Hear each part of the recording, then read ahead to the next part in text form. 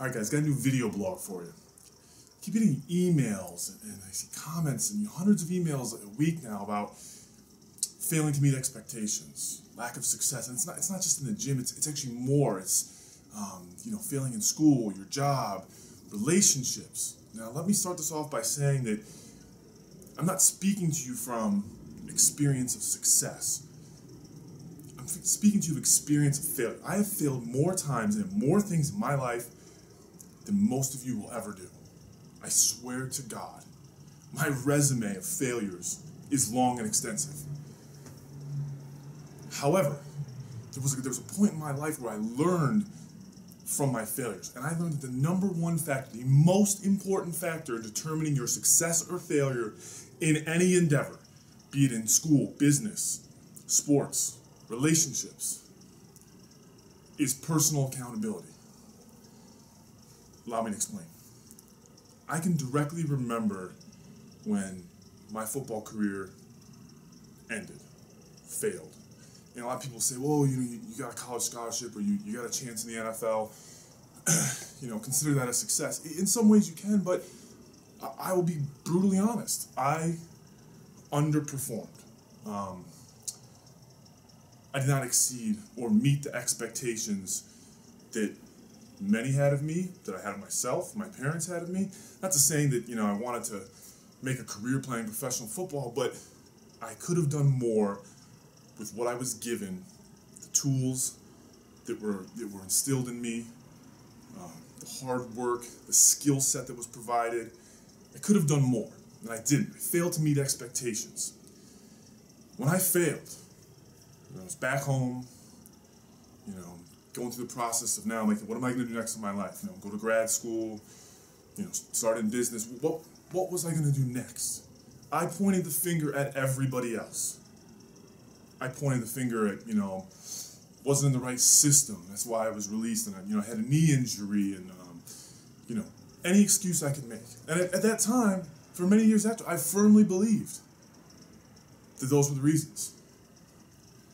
I didn't have enough self-confidence. I didn't have I wasn't able to remove my ego from the situation long enough to examine my own insufficient personal accountability. Got into business, invested in a company. Same scenario. Failed to meet expectations, lost the investment, and then some.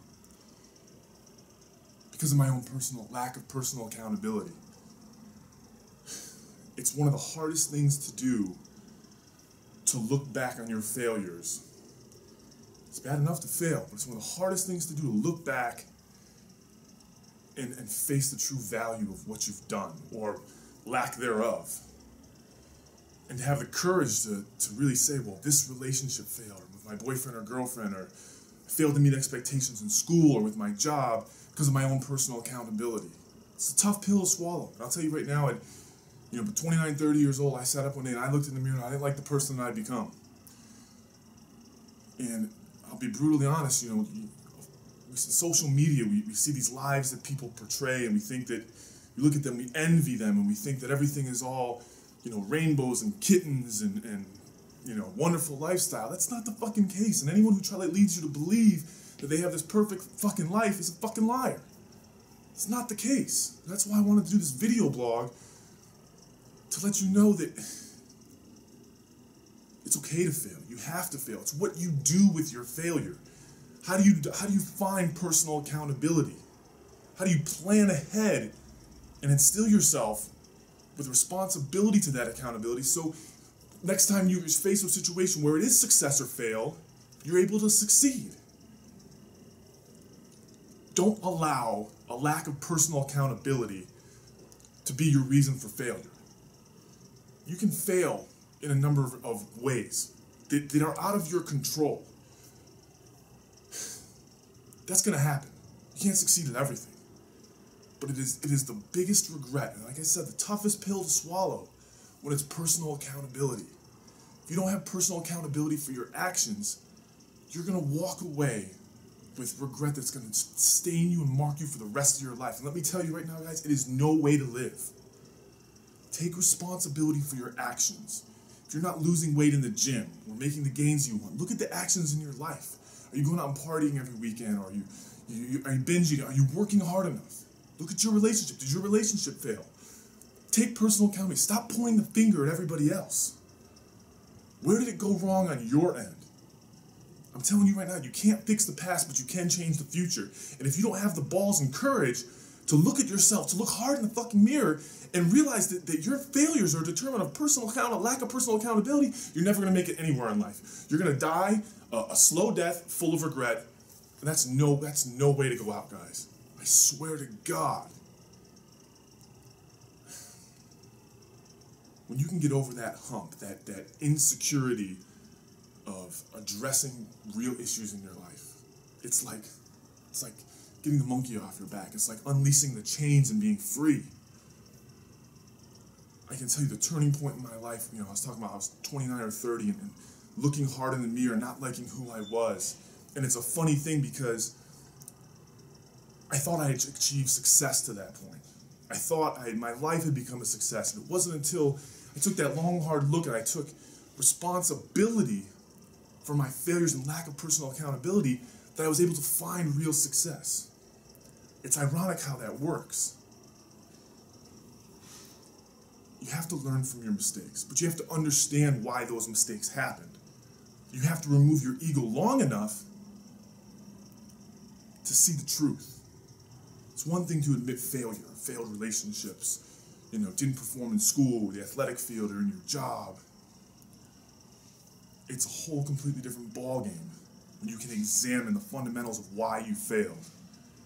Personal accountability is the most determining factor in failure or success. Don't leave anything to chance, guys. Examine the details of the issues in your life.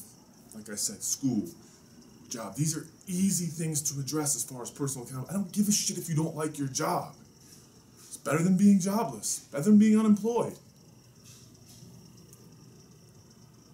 If you don't like your current circumstances or current situation, you have the power to go out and change it, but it doesn't happen by chance. There are no free rides in this world. Our economy is not what it was when our, when our parents were, when the economy was booming, or even 15 years ago. You have to work three times as hard to make half, make half as much money, and the deck is fucking stacked against you. But it doesn't mean it can't happen. You have to want it, but you have to do it with a, with a sense of personal accountability and responsibility. Hard work isn't enough anymore. I want everyone to be a success. I get so many emails of, you know, you guys are, are you know, relationships didn't work out, or your job, you got fired, and, and you, you know, you're, you're blaming your boss because they didn't see the potential in you. It's your job to show them the potential. But that may take time. You want to know the truth, guys? I'll tell you a story that I've told very few people. when I was done playing football, my career fizzled out, and um, you know, I, I started, got into grad school. Um, went to work for one of my friends' companies, um, one of my best friends, and uh, you know, when, his father and him brought me in, um, you know, we had an understanding that I was going to be able to work and go to graduate school But I literally started at, at a, at a minimum wage job. And here I am going to school and graduate school. But the CEO of the company, he wanted me to take have personal accountability for the business. He saw potential in me, and so did his son, who was my friend, who, was elder than me. They saw potential, but they wanted to see how long I could remove my ego from the situation. Could I go from playing in the NFL, big paychecks, parties, being on TV, the limelight, to working in a warehouse, understanding the, the basis, the fundamental systems of the operation, and working my way. Going to tell you, it is the hardest, it was the biggest ego check in the world. To one year playing in professional sports, people admire you. To the next minute, you're in a warehouse working in, next to a guy who'd done time, and, and he's questioning. He's like, "What did you do? Why? I, I followed you in college, and uh, you know, saw you playing, and why are you here? It gave me a new appreciation for opportunities. And I worked my way up. I worked my way up in the company to then at one point running the operations of the business. but I had to remove my ego. I had to accept personal accountability for my actions and my failures. I never would have done that if I had not had that forced humbleness upon me. And it made me a better person, but it was the hardest pill to swallow. But it had to happen. Anytime you achieve success in one area of your life or perceive success, as soon as it happens, you need to forget about it and move on in a different direction. The longer you wither and, and look and examine your success, the more complacent you're going to become. The lack of a personal accountability you're going to have going forward. Like I said, guys, ego is the enemy of success. Dismiss the ego, focus on what's next. Don't allow yourself to be a casualty of controllable circumstances. When I say controllable circumstances, there are certain certain things that are out of control, certain things that are in your control. Don't allow yourself to be a casualty of controllable circumstances, meaning personal accountability, lack of responsibility for your actions. I promise you guys, if you can focus on your personal accountability, it doesn't matter if it's your career or something small like a friendship, your love life, you know, studying for class or school. It's a domino effect. I swear to God, it is a domino effect, and things will fall into place. Once you develop a good habit and you're able to remove that ego in one part of your life, it's easier to do in other areas. But there has to be a starting point. There has to be a concrete, a fundamental step from which to build on. If you don't do that, you're going to be living a life of lies. Don't live a life of lies, guys. You'll end up with nothing but regret.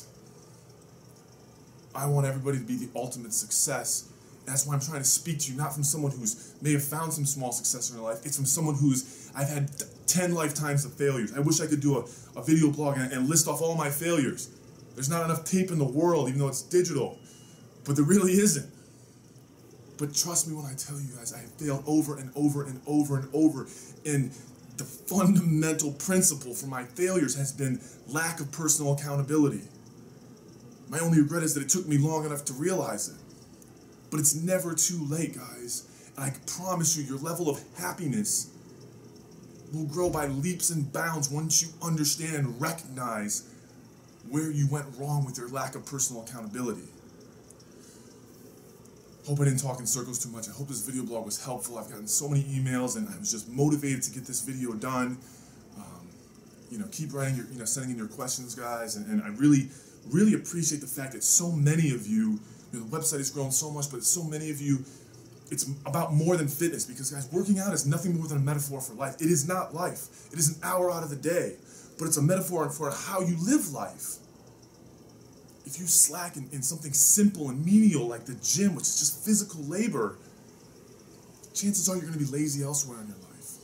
You can develop good work habits on something so simple, it's going to breed a foundation, a building block for work ethic elsewhere and it steamrolls, guys. It's a domino effect. I hope this helped, guys. Try to do more video blogs. You know, as I get um, you know inspired by the, the emails you guys are sending. Keep sending your emails. I really appreciate it. Um, you know, if you have specific questions, keep sending them in. You know, I, I try to address them individually. A lot of guys, you have personal questions, especially ladies. Um, you know, if you, if something that you, you think that you want to see addressed in a public forum, you know, then uh, you know, shoot me a, a, an email you know, through the website and, you know, title it, you know, video blog idea or something you'd like to see me answer in depth in video, um, you know, and I'll do my best. Okay, guys, thanks. Stay tuned.